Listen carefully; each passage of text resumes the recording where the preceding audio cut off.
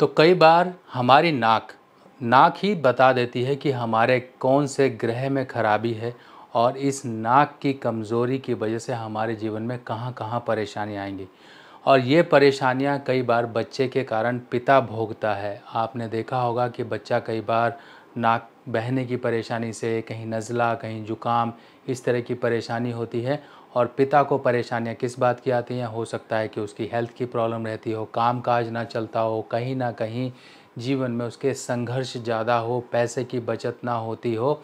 ये सब चीज़ें, ये सब परेशानियाँ इंसान के जीवन में तब आती हैं जब बच्चे की इस तरह से आपको कुछ ना कुछ कमज़ोरियाँ दिखाई देने शुरू हो जाएँ कि नाक बह रही है, उसको नज़ला, जुकाम रहता है। अब देखिए, इस परेशानी से तो बच्चा भी परेशान रहेगा।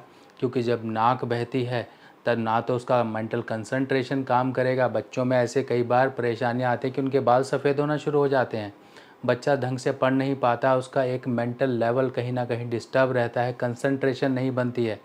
एक तरफ़ तो ये परेशानी हो गई कि बच्चा परेशान है, पर बच्चे के कारण, बच्चे की इस परेशानियों की निशानियों के कारण जो निशानियाँ आपको दिख रही हैं, इससे आप ये भी अंदाज़ा लगा सकते हो कि इसका पिता भी कहीं ना कहीं परेशानियाँ जीवन में झेल रहा होगा। अब ये परेशानियाँ बहुत तरह से आती हैं। बहुत से तरीके हैं कि परेशान पिता है और घर की जो जिम्मेवारियाँ हैं वो भी पूरी करनी है तो पिता कहीं ना कहीं संघर्ष में अपना जीवन बिताता रहता है। पर एक बात आपको समझनी पड़ेगी कि ये परेशानी क्यों आ रही है?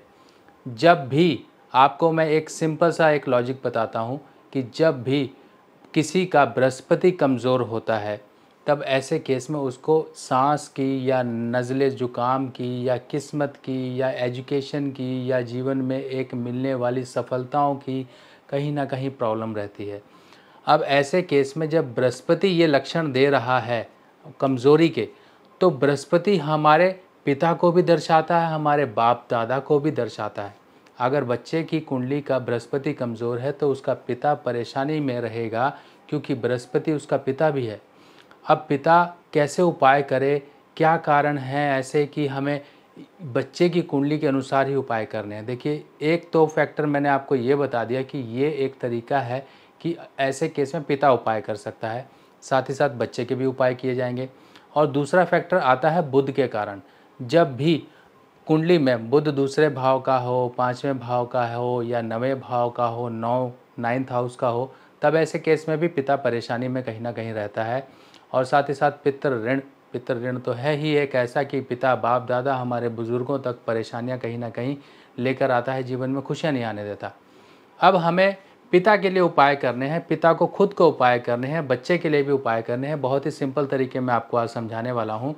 पहला काम तो आप ये करिए कि बच्चे के पास एक ऐसा रुमाल दीजिए जो वाइट कलर का रुमाल हो और उसमें कहीं किनारे पे या सेंटर में कोई लाल मार्कर से या लाल कढ़ाई बुनाई करा कर उसका नाम लिख दीजिए या कोई डिज़ाइन बना दीजिए, फूल पत्ती बना दीजिए, कुछ भी बना दीजिए, ऐसा रुमाल बच्चे के पास रहे। और बच्चा अपनी नाक को साफ़ ज़रूर रखा करे, नाक जितना साफ़ रहेगी उतना ही बृहस्पति के फल उत्तम होंगे। एक तरीका तो ये हो गया। दूसरा तरीका होता है कि बृहस्पति के फलों को अच्छा करने के लिए। एक चांदी की डिब्बी में, छोटी सी चौकोर चांदी की डिब्बिया ले लीजिए, उसके अंदर केसर डालकर, एक डिब्बी तो बच्चे के पास रहे। बच्चे के बैग में रख दो या बच्चे के स्टडी टेबल पर रख दो, बच्चे के जहाँ पर उसका सामान रहता है वहाँ रख दीजिए। और दूसरी डिब्बिया पिता अपने पास रखे, अपनी पॉकेट में रखे या अपनी जेब में रखे या फिर अपने बैग में रखे या ऑफ़िस टेबल पर रखे, कहीं पर भी ऐसी जगह रखे जहाँ पर उसका और डिब्बी के साथ संपर्क ज़्यादा रहता हो। अब आपने ये दो उपाय कर लिए। इसके साथ साथ बच्चे की शारीरिक दुर्बलता को दूर करने के लिए बृहस्पति के फलों को मज़बूत करना होगा। अब बृहस्पति के फल कैसे मज़बूत होंगे? जो शरीर में दुर्बलता क्रिएट हो गई है, उसको दूर किया जाएगा केसर का सेवन करके।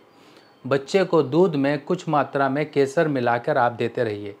अब इसके साथ साथ पिता ने और क्या काम करने हैं? पिता ने अब सबसे ज़रूरी काम करना है, जो कि है पितृ ऋण का। अगर मान लीजिए, कुंडली में दो, पाँच, नौ, बारह अगर भाव कहीं पर राहु, शुक्र या बुध से कहीं से प्रभावित हैं तो पिता या माता कोई भी जो उसका खून का संबंधी है, वो पितृ ऋण के उपाय करता रहे। देखिए, पितृ ऋण के उपाय बहुत थोड़े से टिपिकल हो जाते हैं, पर आपको मैं सिंपल सा तरीका बता सकता हूँ कि आप डेली का एक रुपया अपने घर में कोई डब्बा लगा लीजिए, उसके अंदर डालते रहिए। डेली का एक रुपया डालते रहिए। फोर्टी थ्री डेज़ तक ये रुपया डालना है आपको। यानी कि तरतालीस रुपये आपके इकट्ठे हो जाएँगे। जब वो पैसा इकट्ठा हो जाए तो ले जाके मंदिर के दान पात्र में डालाओ और इस उपाय को वर्ष में एक बार करते रहो। और बच्चे को केसर का सेवन जितना लंबा आप करवाओगे, उतना ही अच्छा होगा बच्चे के माथे, नाभि और इस तरीके से गर्दन पर आप ये केसर का तिलक लगाते रहोगे, तब भी बृहस्पति के फल अच्छे होंगे। और बाकी जो पिता ने उपाय करने हैं और बड़े बुज़ुर्गों का आदर करते रहिए, साथ ही साथ बच्चे की तरफ़ ध्यान दीजिए कि बच्चे को अगर मान लीजिए कोई दिक्कत पड़ रही है, ये नाक बहने की तो कम से कम ऐसी दवाई शुरू करवा लीजिए, चाहे होम्योपैथिक करा लीजिए, चाहे आयुर्वेदिक करवा लीजिए पर यह करवाना ज़रूरी है। जब तक बच्चे की नाक नहीं सही होगी, तब तक पिता सही नहीं हो पाएगा। क्योंकि यही आपके जीवन में खराबियाँ पैदा कर रही है और लक्षण भी आपको दे रही है, पर यह जाने अनजाने में हम इसे इग्नोर कर देते हैं। हम सिर्फ़ बच्चे की परेशानी तक ही फोकस रहते हैं, पर हमें आगे तक इसे कनेक्शन जोड़ना होता है, जो कि आज आप जान चुके हो कि बृहस्पति खराब तो आगे पिता, बाप, दादा परेशानियाँ रहती ही रहती हैं। तो दोस्तों, आप लोगों को ये जानकारी ज़रूर आपकी परेशानियों से बाहर निकलने में मदद करेगी। बाकी नई जानकारी के साथ नई वीडियो में फिर मिलेंगे। तब तक के लिए अपने सुभाष भाई को आज्ञा दीजिए। नमस्कार।